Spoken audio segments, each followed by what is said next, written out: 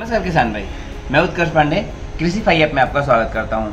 किसान भाई, आप जैसा देख रहे हैं कि अब खरीफ की सीज़न समाप्त हो रही है यानी अब धान की कटाई होगी, और रबी सीज़न में काफ़ी किसान भाई लोग गेहूँ के बुआई करते हैं। किसान भाई, गेहूँ के बुआई करने के लिए, या रबी सीज़न में जो भी फ़सल आप बुआई कर रहे हैं, सरसों, चना, मटर, मूंग तो इसमें कुछ चीज़ें होता है, आपको ध्यान देने की बातें होती है।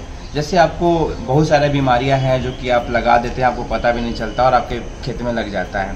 तो उसमें एक बड़ी चीज़ है कि आपको पहले बीज का, आप चाहते हैं कि कोई बीमारी आपके खेत में लगे ही ना। उसके लिए आपको बीज बुआई करने से पहले बीज की उपचार करना होता है। आज की वीडियो में मैं आपको बताऊँगा कि गेहूँ का बीज कैसे उपचार करते हैं।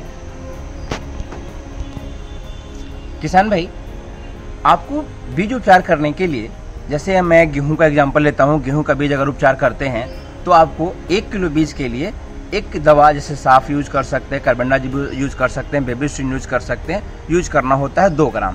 बेसिकली आप एक बार आपको मैं फिर बता दूँ, इसका डोज होता है एक किलो बीज के लिए दो ग्राम कार्बेंडाजिम बेबिस्टिन या और भी बहुत सारे फंगिसाइड है जिससे बीज की उपचार होती है। आप यूज़ कर रहे हैं तो कर सकते हैं। किसान भाई, आज मैं आपको बता रहा हूँ कार्बेंडाजिम से बीज को उपचार कैसे करते हैं। किसान भाई, जैसा आप देख रहे हैं, ये गेहूँ का बीज है। ये मैं एच डी उनतीस सड़सठ गेहूँ का बीज लिया हूँ। ये बीज अभी उपचार नहीं हुआ है, ठीक है?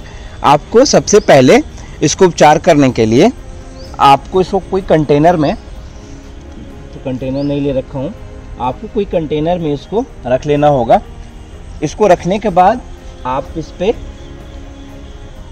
थोड़ा सा पानी का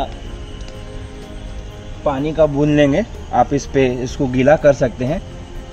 ऐसे गीला कर सकते हैं। गीला करने के बाद किसान भाई जो मैंने आपको बताया कि जो मैं केमिकल सॉरी जो भी मैं अभी अ, दवा ले रखा हूँ कार्बेंडाजिम इसको मेज़र करना है दो ग्राम। दो ग्राम ले करके आपको एक किलो बीज के लिए ये तो बीज कम है एक किलो बीज के लिए आपको ऊपर से ऐसे भुरकाव कर देना है। और भुरकाव करने के बाद पूरे सीड को एक बार अच्छा से मिला लेना है।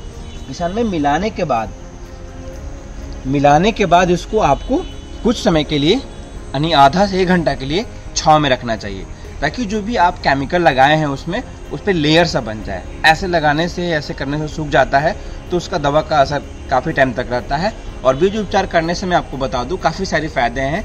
इससे आपको फफूंदजनिक बीमारी नहीं लगती है सीड में अगर सीड से कोई बीमारी है, वो आपकी फ़सल लग गई, वो बाद में भी, यानी जब आपका फ़सल 50 दिन का 60 दिन का, या ग्रेनी स्टेट में रहता है, उस समय प्रॉब्लम करती है तो वो नहीं लगेगी, उपज में आपका वृद्धि होगी।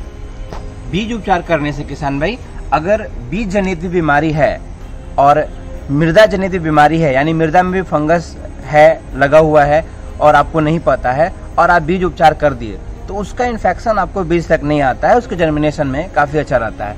तो किसान भाई, ये छोटी छोटी चीज़ें हैं, आपको प्रोसेस में बताया करने में कुछ मतलब उतना डिफिकल्टीज नहीं है बट काफ़ी सारे किसान भाई लोग नहीं कर पाते हैं। तो मैं रिक्वेस्ट करूँगा आप किसान भाइयों से इस वीडियो के माध्यम से कि आप बीज उपचार करें और अपनी उपज बढ़ाएँ। और भी कोई वीडियो देखना चाहते हैं तो आप कमेंट बॉक्स में ज़रूर बताएँ। कृषि फाई आपका वीडियो देखने के लिए आपका बहुत बहुत धन्यवाद।